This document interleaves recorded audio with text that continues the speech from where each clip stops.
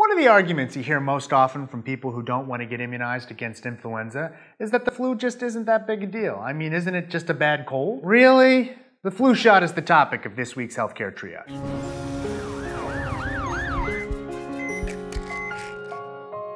Look, there are a number of things the flu and a cold have in common. They both involve a respiratory system, and they both include a cough and a runny or stuffy nose. And of course, they both make you feel sick. But that's where the similarities end. Colds are caused by a variety of viruses, mostly rhinoviruses, 30 to 50%, and coronaviruses, 10 to 15%. The flu, on the other hand, is caused only by the influenza virus. Colds are defined as a short and mild illness, first characterized by headache, sneezing, chills, and sore throat. Later on, you get runny or stuffy nose, cough, and you'll feel a little bit crappy. Usually things move fast and colds are at their worst two to three days after infection. Most people start to feel better in a week to 10 days after the cold starts, but some symptoms can last for weeks. Very few people with colds develop fevers. Influenza, on the other hand, feels more like getting hit by a truck. Influenza also comes on fast with more symptoms like fever, cough, sore throat, headache, muscle pain, stuffy nose, weakness, and even a loss of appetite. You're likely to feel much, much worse with the flu. A lot of people think of the flu or influenza as stomach flu. While you might have a loss of appetite or an upset stomach, the main effect from influenza is to make you achy, weak, and tired with a bad cough, fever, and congestion. Colds rarely do much more than annoy us and slow us down. I don't mean to minimize how bad you feel when you have a cold, but you can be pretty sure as to how bad it will get. Flu, on the other hand, can kill. In fact, the flu kills up to 500,000 people around the world each year the number of people who die from colds is almost zero. While there's no cure for the cold, there actually are antiviral medications that can help the flu to go away faster. In order for these medications to work, you need to start taking them in the first day or two after you get sick. That's why it's important to talk to your doctor as soon as possible after you feel sick in flu season. Once those first few days have passed, the medications really won't do you any good. Although it's difficult to tell a cold from the flu at the beginning, the best predictors are cough and fever. Having both these symptoms has a positive predictive value of 80% in differentiating one from the other. So if you have a cough and a fever during flu season, there's a pretty darn good chance you've got influenza. Most importantly, there's a vaccine for the flu. The flu shot works. It prevents illness and it saves lives.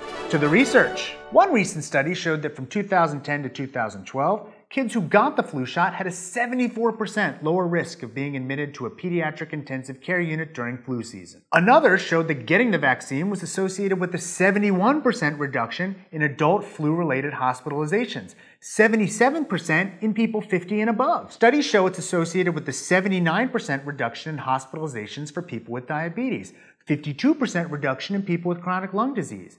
Giving the vaccine to pregnant women is 92% effective for preventing hospitalizations of infants with the flu. Yes, the flu vaccine changes from year to year, and it's based on a best guess as to what strains will be most prevalent this season. Some years they do a better job predicting than others, but research shows consistently that the benefits outweigh any potential harms. The CDC currently recommends that every single person six months of age or older should get the flu shot. That includes pregnant women and people with lots of chronic illnesses. There are some people who shouldn't get flu shots. If you have an allergy to chicken's eggs, if you've had a serious allergic reaction to a previous flu shot, if you've had the rare condition Guillain-Barré syndrome after a previous flu shot, or if you have a moderate or severe illness with a fever at the time you want the shot, you probably shouldn't be vaccinated and you should at least talk to your doctor about it. Otherwise, recommendations say you should get it. Some people may tell you that the flu vaccine can give you the flu. It can't. The flu shot uses a dead virus to protect you from influenza. Dead viruses can't make you sick. Dead viruses can't be resurrected to cause infections they're dead. I know there's likely someone out there who's arguing with the video right now. Maybe someone who thinks that the flu shot gave them flu in the past, but it didn't happen. If you've ever thought that a flu shot gave you the flu, you might have experienced the side effect from the vaccine. Vaccines can cause soreness, redness, and swelling where you get the shot. Some people also experience some low grade fever and aches.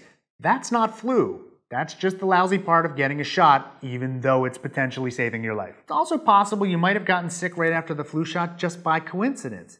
Maybe you were exposed to another virus around that time, or even to influenza itself before you got the shot. When you get a shot and get sick at the same time, it's normal to put two and two together and assume that one caused the other. But once again, there's a difference between causation and association. Even if they happened at the same time, one event did not necessarily cause the other. Now, the nasal spray influenza vaccine doesn't have a dead virus, it has a live attenuated virus. But this live virus is a special genetically modified version of the influenza virus specifically designed not to cause infection. It doesn't revert back to the original virus that can cause infection. It's never happened. Not in scientific studies, nor in the millions of people who've gotten the influenza nasal spray vaccine since 2003. Still, some people worry that the nasal spray version of the influenza vaccine can come out of your nose and be transmitted to someone else. Shedding of the vaccine from the nose can occur, but the amount of vaccine virus that comes out of there is incredibly small, much less than you'd need to infect someone else. And in the many, many studies that have been done, transmission of this attenuated vaccine virus has only been seen in one person as far as I can tell by looking at the medical literature. One child in a study of 197 children had influenza from someone else's vaccine detected in their nose in a single day, but it never caused any symptoms. In all the other studies, no one transmitted the vaccine virus at all even among HIV infected children and adults who'd be at a higher risk for infection, no one was infected. Of course, you should still wash your hands and try to stay away from close contact with sick people to avoid both cold and the flu. But the vaccine can make a big difference. As I said a few weeks ago here on Healthcare Triage, it's estimated that just two years ago, if we'd gotten the influenza vaccination rate up to 70%, we could have prevented 4.4 million illnesses and 30,000 hospitalizations in the United States alone. There's a reason the CDC recommends this vaccine for everyone. Listen to them.